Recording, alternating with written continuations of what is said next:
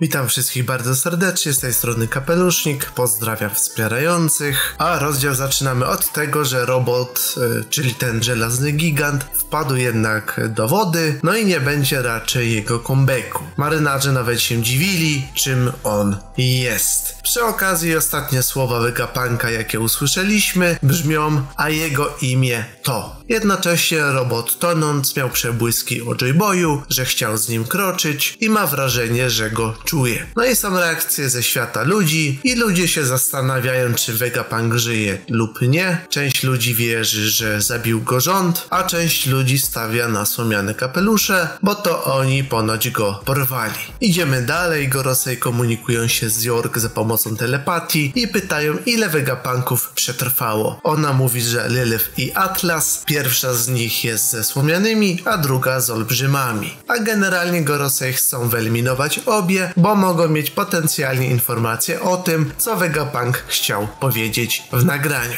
Natomiast Gumiak wreszcie dotarł na statek gigantów. W międzyczasie giganci dalej walczą z marynarką, ale Bonnie przemieniła wiceadmirałów w dzieci. Luffy przy okazji spotyka tych dwóch gigantów, których kiedyś tam spotkał na Ennis Lobby, a Sanji rozmawia z nami o aktualnej sytuacji. I generalnie nami mówi, że będą próbować wylądować na oceanie dzięki poświęceniu Edisona, ale mogą potrzebować Luffy'ego i reszty, by wylądować bezpiecznie. Na co Sanji oczywiście się zgadza, wskazując, iż nami, Robin i Lilith to dla niego niego priorytety. W międzyczasie Mars nadatuje nad statek gigantów i atakuje statek laserem. Ten, co się bawi Frankiego. No ale dobra, giganci próbują się bronić, ale i tak statek zostaje podpalony. W międzyczasie jacyś randomowi marynarze głowią się, co to za ptak. Atakuje statek gigantów, a Luffy wcina mięcho, by się zregenerować. Na statku olbrzymów następuje lekka panika, Atlas zajmuje się nieprzytomnym kumą, Dogi i Brogi są zaniepokojeni tym, tym, że Mars może latać, no ale nagle zaczyna się trzęsienie ziemi i Luffy odpala Gear 5.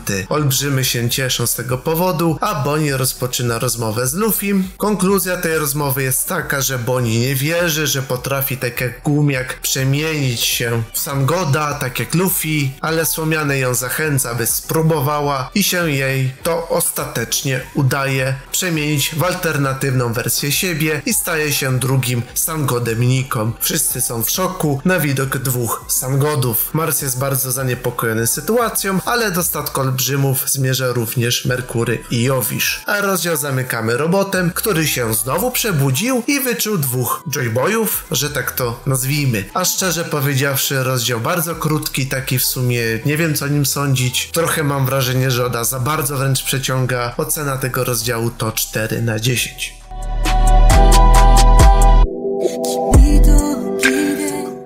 przemyśleniach też nie za wiele. Szybko sobie podsumujemy sytuację. Prawdopodobnie w przyszłym rozdziale zobaczymy 3 na 3 Bonnie, Luffy i Sanji kontra Jowisz, Mars i Merkury, a Zoro będzie dalszym przeciwnikiem Venusa. Tylko Saturn na razie nie ma przeciwnika. Więc do końca arku jest chyba dalej niż zakładaliśmy. Druga rzecz to robot się przebudził, czyli koniec nagrania raczej nastał, ale robot do akcji może jak najbardziej wrócić. I co do ostatnich słów Vegapunka pewnie powiedział, kogo on uważa za wybrańca z nazwiskiem D w nazwie. Pewnie się dowiemy o tym pod koniec mangi czy coś takiego. I teraz pytanie co z Boni? Ostatecznie teraz tak e, obstawię, że nie będzie w załodze słomianych, ale raczej będzie stałym sojusznikiem, przewijającym się już do końca mangi coś jak Low. Także dajcie znać co myślicie, ja byłem Kapelusznik i na razie.